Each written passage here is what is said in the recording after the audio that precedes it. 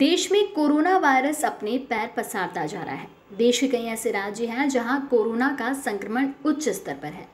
महाराष्ट्र उन्हीं राज्यों में से एक है जहाँ कोरोना के सबसे अधिक मामले पाए गए हैं। इन सभी चीज़ों को देखते हुए महाराष्ट्र सरकार ने एक नया कदम उठाते हुए अब आवाज़ से कोरोना वायरस की जाँच करने की टेक्निक अपनाई है। इस तकनीक से आवाज़ से ही मरीज़ की कोरोना की जाँच हो जाएगी। महाराष्ट्र सरकार कोरोना वायरस से निपटने के लिए नए नए कदम उठा रही है और वॉइस सैंपल से टेस्टिंग अपने आप में एक अलग ही उपाय है। इस बात की जानकारी खुद शिवसेना नेता आदित्य ठाकरे ने दी।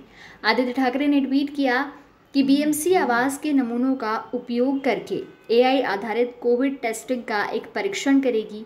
आरटीपीसीआर टेस्टिंग भी होती रहेगी, लेकिन दुनिया भर में टेस्ट की गई तकनीकें साबित करती हैं कि महामारी ने हमारे स्वास्थ्य ढांचे में तकनीक के उपयोग से चीज़ों को अलग तरह से देखने और विकसित करने में मदद की है महाराष्ट्र में कोरोना की स्थिति के बारे में बात की जाए तो एक लाख पैंतालीस हज़ार पाँच सौ अट्ठावन एक्टिव केस हैं, वहीं तीन लाख इक्यावन हज़ार सात सौ दस लोग इससे रिकवर भी कर चुके हैं और अब तक सत्ताईस दशमलव तीन लाख लोगों की जाँच की जा चुकी है subscribe our channel and press the bell icon for more updates.